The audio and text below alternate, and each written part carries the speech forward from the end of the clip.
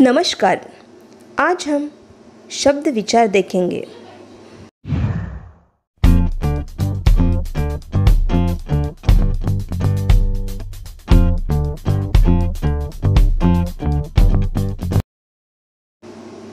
शब्द विचार को मराठी में शब्दांच्या जाति और अंग्रेज़ी में पार्ट्स ऑफ़ स्पीच या वर्ड क्लासेस भी कहते हैं। अक्षरों के सार्थक गठन को शब्द कहते हैं। अर्थात जब एक या एक से अधिक अक्षरों का संयोजन किसी विशेष अर्थ को इंगित करता है तो उसे शब्द कहा जाता है। शब्द एक निश्चित अर्थ को ग्रहण कर लेता है। जैसे, कमल। इस कमल शब्द से हम यह समझते हैं कि यह एक फूल का नाम है। यदि हम इस शब्द के अक्षरों को अलग अलग रखें, जैसे क म, ल। तो यहाँ पे एक एक अक्षर का कमल शब्द से कोई संबंध नहीं है।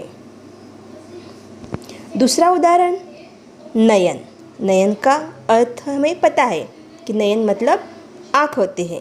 इसमें न, य, न, इन शब्दों का नयन शब्द से भी कोई संबंध नहीं है। लेकिन जब कमल, नयन ये शब्द बन जाते हैं तो एक अर्थ ग्रहण कर लेते हैं कि जैसे कमल, ये फूल का नाम है। ये हमें समझ में आता है। नयन आँख को बोलते हैं, ये हमें समझ में आता है। आगे देखते हैं। हिंदी शब्दावली का वर्गीकरण अनेक आधारों पर किया जाता है। जैसे कि विकास के आधार पर, अर्थ के आधार पर, उसके उत्पत्ति के आधार पर, उसके रूप के आधार पर। प्रयोग की दृष्टि से शब्द दो प्रकार के हैं, विकारी और अविकारी।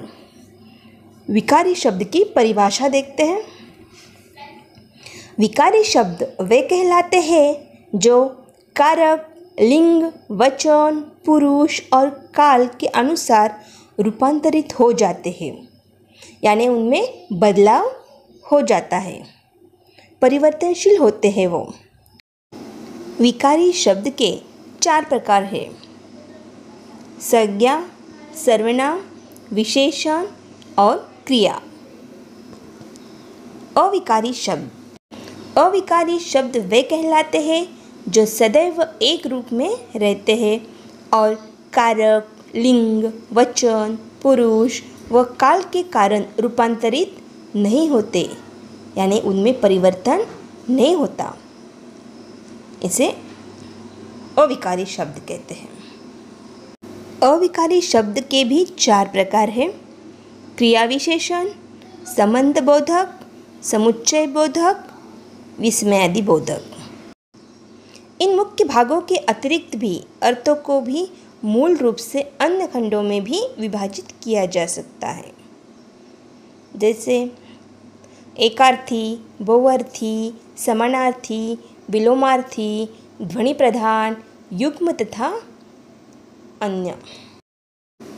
अगले वीडियो में हम विकारी और अविकारी शब्दों को एक एक करके विस्तार से समझेंगे। तब तक के लिए धन्यवाद।